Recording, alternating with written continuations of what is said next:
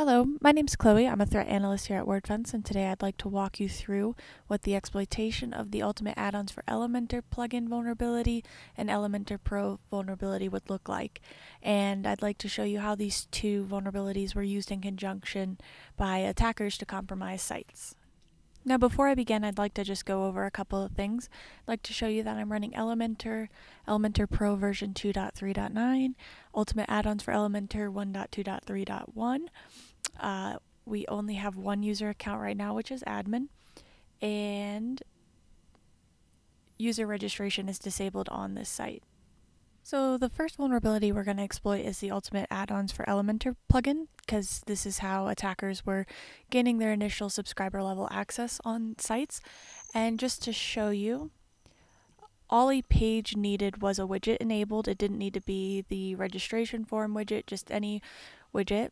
And so I created this page that just has a heading widget on here from the um, Ultimate Add-ons by Elementor plugin. And this gives us everything we need in order to create a new subscriber level user. So now I'm going to go ahead and log out of the site.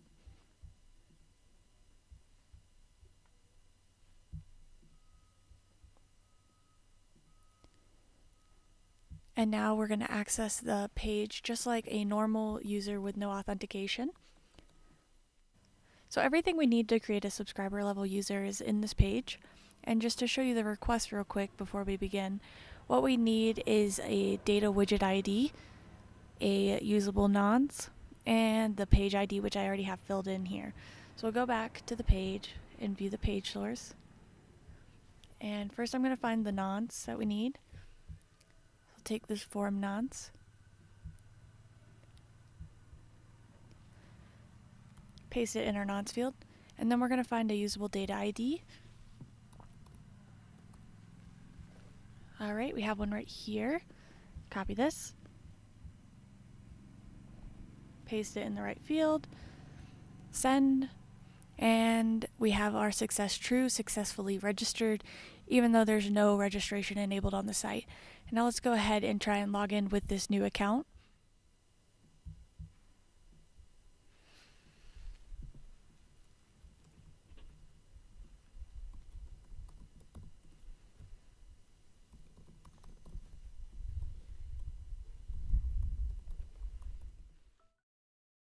There we go. You can see that we have logged in successfully as subscriber. And now we can take this a step further and exploit the vulnerability in Elementor Pro. So for the Elementor Pro vulnerability, uh, attackers could create a zip file from one of the trusted icon sources. Uh, Fontello is one of them. And what you would need to do is download a copy of the web font. And I already have this ready to go here. And so you download the zip file, and then what the attacker would need to do is extract the zip file. So we have that here, and then inject any uh, files that they wanted to into that uh, extracted folder. And so I'm going to copy this icon backdoor PHP file, and just to show you what that looks like.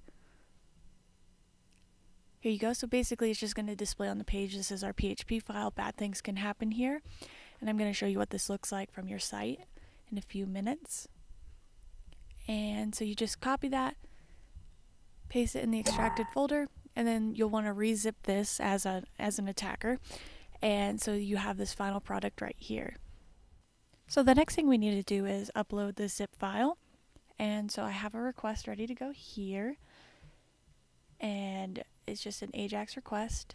This is a zip file that I just created and we go down we have our actions and then we need to grab a usable nonce as a subscriber so let's head back over to the site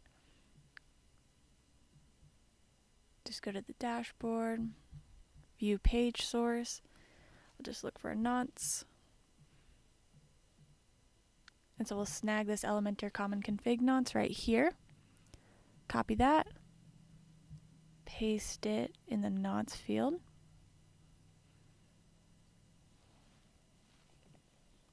And then we need to get some subscriber cookies to add here. So I'm just going to go over to my proxy,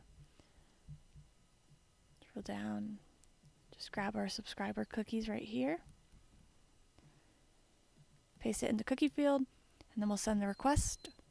And then we get this response, which is a success true 200, which means that our zip file was successfully uploaded and extracted. So let me go ahead and take you to that on the site. And in order to access the newly uploaded zip uh, content, we would go to wp-content forward slash uploads slash elementor slash custom icons. And it, since this is the first custom icon upload for sure, uh, you go to negative one, and then I'm going to access the file that I injected, which is icon backdoor.php. And here we can see that the PHP content is echoed to the page. This is our PHP file. Bad things can happen here. And so, what attackers are doing is uploading these backdoors and then accessing these backdoors to gain access into your site's backend and doing all sorts of different things. Um, from what I have seen in reports, it looks like they're removing the initial backdoor upload and uploading a new backdoor somewhere else in the site. Um, the common one we're seeing is wp-xmlrpc.php, so keep an eye out for that file. Um, the good news is that both plugins are up to date and contain security patches, so we highly recommend updating to the latest versions immediately.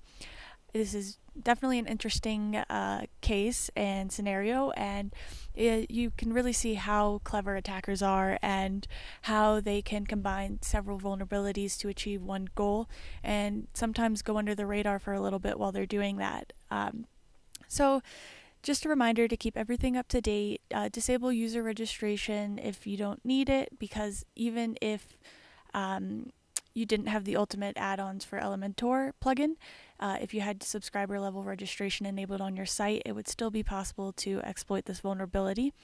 So I definitely recommend disabling that if you can.